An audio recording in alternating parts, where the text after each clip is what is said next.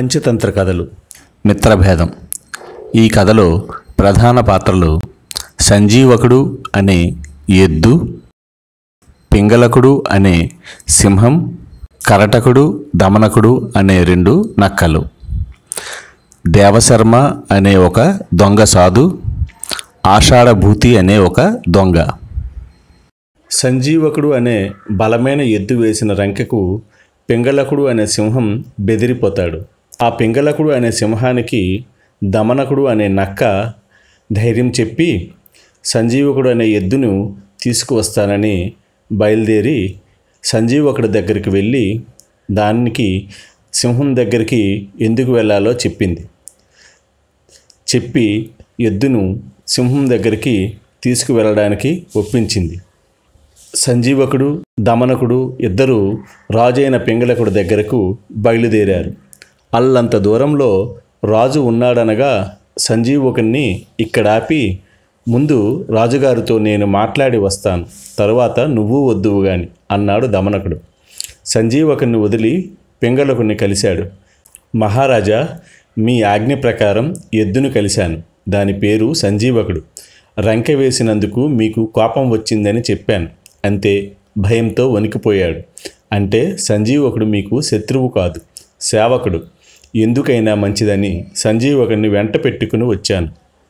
మీరు ప్రవేశపెట్టమంటే పెడతాను అన్నాడు దమనకుడు. ప్రవేశపెట్టు చెప్పాడు పింగళకుడు. వచ్చి సంజీవ్ ఒకరిని కలిశాడు దమనకుడు.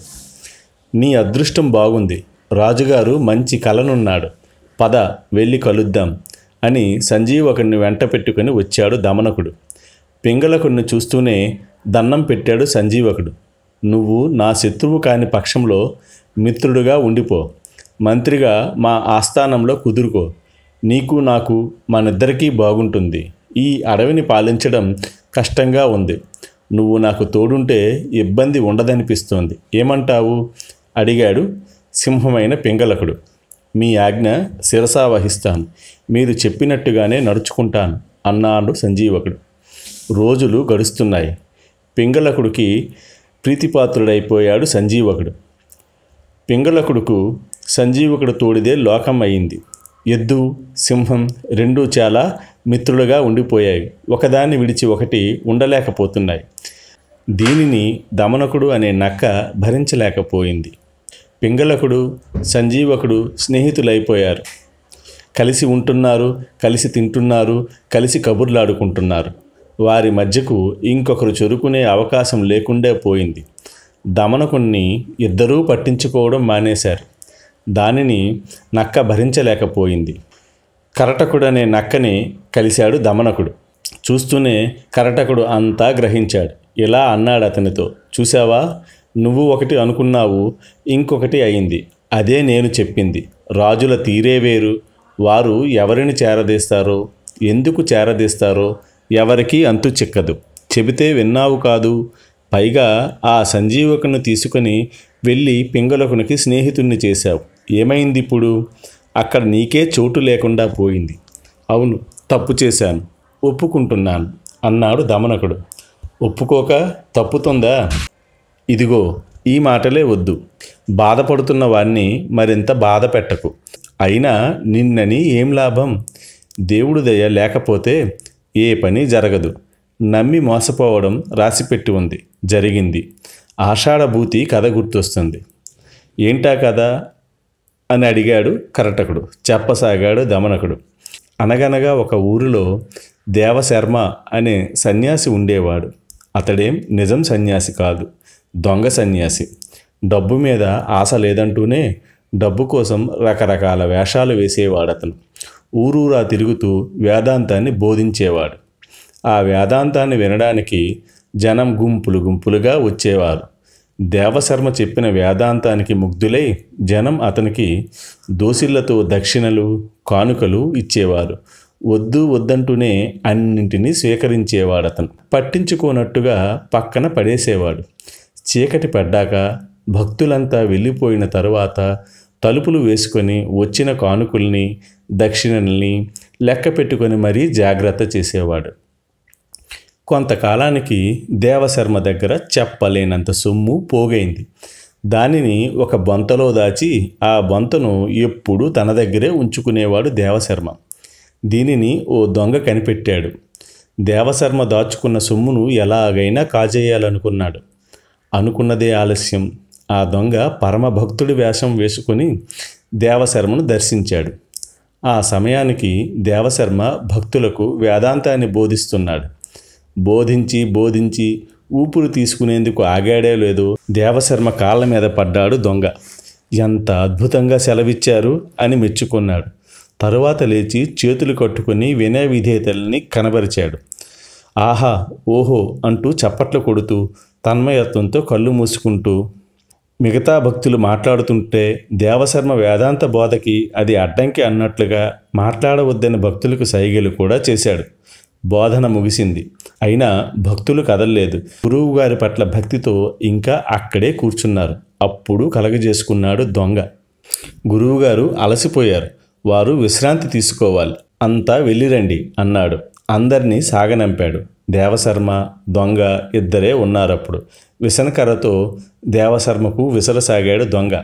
అతని భక్తికి వినయ విధేయతలకి పొంగిపోయాడు దేవశర్మ. అడిగాడిలా ఎవరు నువ్వు? నన్నెందుకు ఇంతలా సేవిస్తున్నావు? నా పేరు ఆషాఢభూతి. ఎవరు నువ్వు? అని మీరు అడిగారే అది తెలుసుకుందామనే ఇక్కడికి వచ్చాను. మీకు సేవలు చేసి మీ దగ్గర ఉన్న జ్ఞానధనాన్ని పొందాలని ఆశతో వచ్చాను. నన్ను కాదనకండి. మీ శిష్యుడిగా స్వీకరించండి అన్నాడు దొంగ. వాడి మాటల్ని నమ్మేశాడు దేవశర్మ. అలాగే అన్నాడు. అప్పటి నుంచి అవకాశం ఎదురు చూస్తూ దేవశర్మని అంటి పెట్టుకుని ఉండేవాడు దొంగ. దేవశర్మ ఎక్కడికి వెళ్తే అక్కడికి నీడలా అతన్ని వెంటాడేవాడు. దేవశర్మతో పాటు ఊరూరా తిరుగుతూ గురువుగారికి ఎప్పుడు ఏది అవసరమో అది తీరుస్తూ ఉండేవాడు. క్షణక్షణం భక్తి వినయం వైరాగ్యాల్ని నటించేవాడు. ఒకనాడు గురు శిష్యులిద్దరూ కాలినడకన ఒక గ్రామం నుంచి ఇంకో గ్రామానికి వెళ్తున్నారు. గురువుగారు ఏదో బోధిస్తున్నారు. వింటున్నాడు దొంగ. వింటూ వింటూ కెవ్వున కేకేశాడు. ఏమైందయ్యా? అని అడిగాడు దేవశర్మ. మహాపరాధం జరిగిపోయింది చూడండి అంటూ తన పంచెకు అంటుకొని ఉన్న గడ్డి పరకను తీసి చూపించాడు దొంగ. ఈ గడ్డి పరక రాత్రి మనం బస చేసిన వారింటిది. ఎలా అంటుకుందో నా పంచెకు అంటుకుంది. ఇది నాది కాదు వారిది వారిది వారికి ఇచ్చి వేయాలి. ఇప్పుడే వస్తాను అంటూ వెనుతిరిగాడు దొంగ. పర్వాలేదయ్యా గడ్డి పరకే కదా అని దేవశర్మ నచ్చజెప్పబోయాడు. వద్దండి పరుల సొమ్ము పాము లాంటిది మనకెందుకు? అన్నాడు దొంగ. మీరు నడుస్తూ ఉండండి నేను ఇట్టే వెళ్ళి అట్టే వస్తాను అంటూ పరుగు తీశాడు. అది కాదు ఆషాఢభూతి గడ్డి పరక ఇవ్వడమేంటి మరి అర్థం లేకుండా మాట్లాడుతున్నావు. అర్థం ఉంది గురువుగారు. మనది కానిదేది మనం ఉంచుకోకూడదు. మీరే ఈ విషయం మొన్న చెప్పారు మరచిపోయారు అంటూ రివ్వున వెళ్ళిపోయాడు. పరుగున వెళ్ళి ఓ చెట్టు నీడకి చేరుకున్నాడు. అక్కడ గడ్డి పరక పడేసి కాసేపు విశ్రాంతి తీసుకొని ఇందాక ఎలాంటి వేగంతో వెళ్ళాడో అలాంటి వేగంతోనే వచ్చి గురువు గారిని చేరాడు. చెమటలు పట్టిపోయాడు ఆషాఢభూతి. వగరుస్తున్నాడు. అతన్ని చూసి ఆశ్చర్యపోయాడు దేవశర్మ. అతని నిజాయితీకి పొంగిపోయాడు. ఆషాఢభూతిని ఇక ఎందులోనూ ఎప్పుడూ అనుమానించక్కర్లేదనుకున్నాడు. ఎందుకలా అనుకున్నాడంటే సొమ్ములు దాచిన బొంత రోజురోజుకి బరువు పెరిగిపోతుంది. మోయలేకపోతున్నాడు అతను పైగా వయస్సు మీద పడడంతో సత్తువ తగ్గిపోతుంది అతనికి. నాయన ఆషాఢభూతి నాకు చిన్న సాయం చేయాలయ్యా అడిగాడు దేవశర్మ. ఆజ్ఞాపించండి గురువుగారు ఇక మీదట ఈ బొంతను నువ్వే మొయ్యాలి. ఇది మొయ్యడం నా వల్ల కావట్లేదు అన్నాడు దేవశర్మ. ఆనందంగా అందుకున్నాడు. బొంతను మోస్తూ దేవశర్మ పర్వమన్నప్పుడల్లా పరుస్తూ శుభ్రం చేస్తూ కొన్నాళ్ళు గడిపాడు దొంగ. మరింత నమ్మకాన్ని కలుగజేశాడు దేవశర్మకి. ఒకరోజు రెండు పొట్టేళ్ళు పోట్లాడుకుంటూ కనిపించాయి. భీకరంగా కొట్టుకుంటున్నాయి అవి. రక్తాలు కారిపోతున్నా పట్టించుకోవట్లేదు. అయ్యయ్యో అని తట్టుకోలేనట్లుగా కళ్ళు మూసుకున్నాడు దొంగ. దేవశర్మ కుతూహలంగా చూస్తుంటే వద్దన్నట్టుగా అతనితో ఇలా అన్నాడు. రండి గురువుగారు మనకెందుకు పోట్లాట? బాగుంది కదయ్యా కాసేపు చూడని అన్నాడు దేవశర్మ. పొట్టేళ్ళ పొట్లాటను ఆసక్తిగా గమనించసాగాడు. పొట్టేళ్ళు నాలుగు అడుగులు వెనక్కి వేసి తలలు బలంగా నిలబెడుతూ పరుగున వచ్చి కొట్టుకుంటున్నాయి. రక్తం పడి గడ్డ కడుతోంది. ఆ రక్తాన్ని మాంసం ముద్ద అనుకొని దానిని అందుకునేందుకు అక్కడికి ఓ నక్క వచ్చింది. పొట్టేళ్ళు వెనక్కి వెళ్ళినప్పుడు ఆ రక్తంలో మాంసం కోసం వెతికింది. ఎక్కడా మొక్క అన్నది లేదు. అంతా రక్తమే. గడ్డ కట్టిన రక్తం. చచ అనుకుంది. వెనుతిరిగి పోయేంతలో పరుగు పరుగున వచ్చాయి గొర్రెపోదులు తలల్ని ఢీకొన్నాయి. తలల మధ్యన ఇరుక్కుంది నక్క. ఫట్ మని పచ్చడైపోయింది. దెబ్బకి చచ్చిపోయింది నక్క. పాపం అన్నాడు దేవశర్మ. దీనినే మోసపోవడం అంటారు. దేనిని చూసి చూడగానే నమ్మరాదు. రక్తాన్ని మాంసం అని నమ్మి పాపం ప్రాణాలు నక్క ఎలా బలిపెట్టిందో చూశావా? అడిగాడు దేవశర్మ. సమాధానం లేదు. శిష్యుడి దగ్గర నుంచి. విన్నావా? అని ఆషాఢభూతి కోసం చూశాడు దేవశర్మ. ఇంకెక్కడ ఆషాఢభూతి? దేవశర్మ కన్నార్పకుండా పుట్టేళ్ళ పొట్లాటను చూస్తుంటే అదే అదనుగా సొమ్ములు ఉన్న బొంతను చంకన పెట్టుకొని అక్కడి నుంచి ఉడాయించేశాడు దొంగ. పారిపోయాడు. కనిపించిన ఆషాఢభూతి కోసం కనిపించిన వారందరినీ వాకపు చేశాడు దేవశర్మ. ఫలితం లేదు. ఆ ఆషాఢభూతి ఆనవాలు చిక్కలేదు. నక్కను చూసి జాలిపడ్డాను. దేనిని నమ్మరాదన్నాను. నేను చేసిందేమిటి? ఆషాఢభూతిని నమ్మి సర్వస్వాన్ని పోగొట్టుకున్నాను అని తలపట్టుకున్నాడు దేవశర్మ. అంటూ కథ ముగించాడు దమనకుడు. అంటే రాజును నమ్మి నువ్వు మోసపోయానంటావు అన్నాడు కరటకుడు. అవును మోసపోయాను.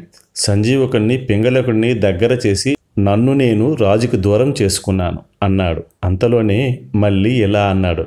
ఎలాగైనా వాళ్ళిద్దరి స్నేహాన్ని చెడగొట్టాలి. ఒకరంటే ఒకరికి పడకుండా చేయాలి. లేకపోతే నాకు బతుకు లేదు.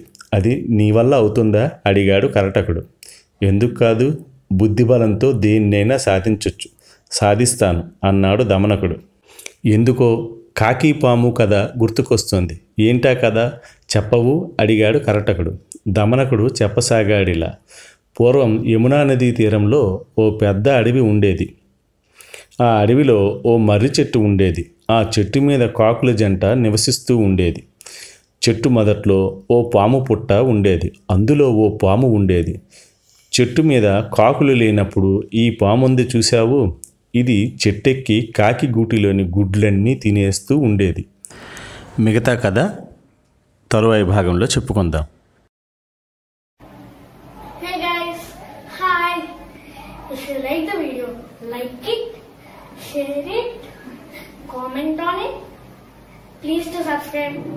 ಹಿದ್ದು ಬಲೆಗಳು ಬರ್ಮೋ ನೋಡ್ರಿ